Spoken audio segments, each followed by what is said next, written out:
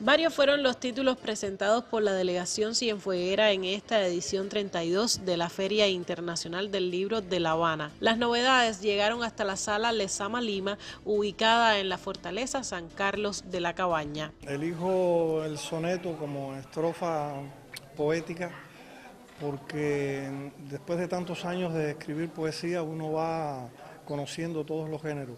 Leer a Borges y, leer sus espléndidos sonetos pues me llevó a amar esta métrica, el endecasílabo y trabajar con endecasílabo.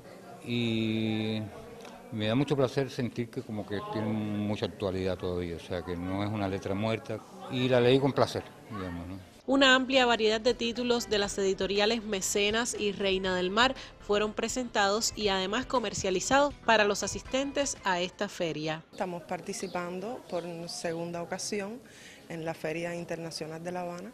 En este caso llegamos con alrededor de siete novedades, eh, con un equilibrio entre géneros.